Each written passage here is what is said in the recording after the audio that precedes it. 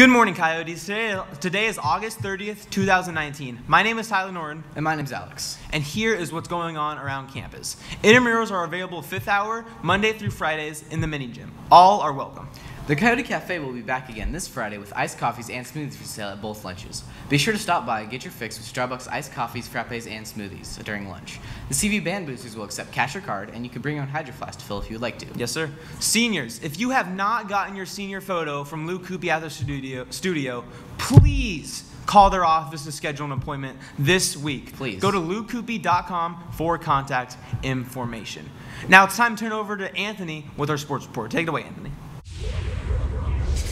Girls interested in playing basketball for Campo Verde this year are welcome to come to Open Gym Wednesday nights from 6:15 p.m. to 7:45 p.m. and Saturday mornings from 8 a.m. to 10 a.m.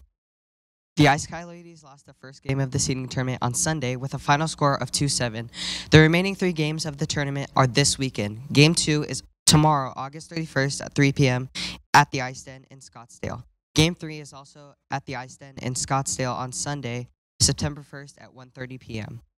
The game 4 is also on Sunday at the Oceanside Rink in Tempe at 8:10 and all games are free so come on out and support your Ice Coyotes.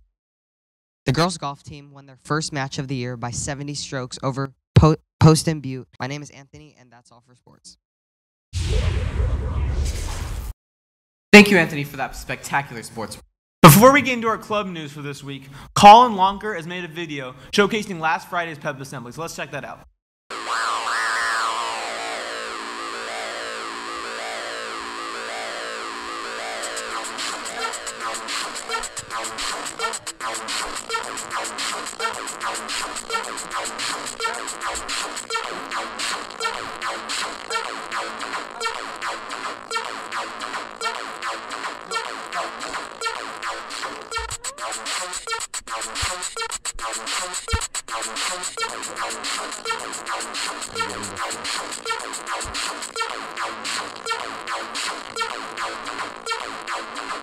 Thank you, Colin, for that video. The pep assembly last week was amazing. Now it's time for club news.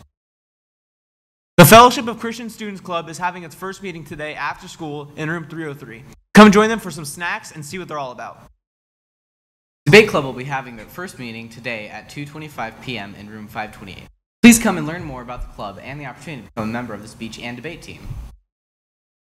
That's actually everything we have for you guys this week. Um, it was kind of, was kind of, kind of a short, short show, Indeed, it was. um, but we hope you guys enjoyed. My name is Tyler. and my name is Alex, and you just watched the news. We'll see you guys next time. Take care.